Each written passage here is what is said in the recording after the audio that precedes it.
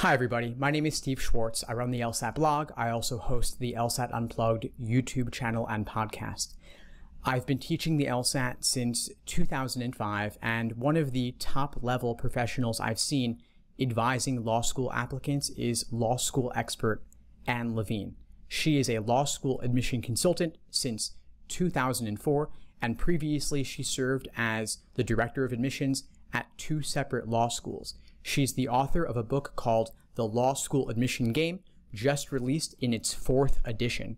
And this edition is a comprehensive overview of the entire law school admission process, as are all previous editions, but this one is updated for 2020, including COVID specific questions. So if you're applying this year or anytime in the near future and you want the latest information on how to put together the best possible law school application book for yourself, the best law school application for yourself, definitely get a copy. It's well worth the investment.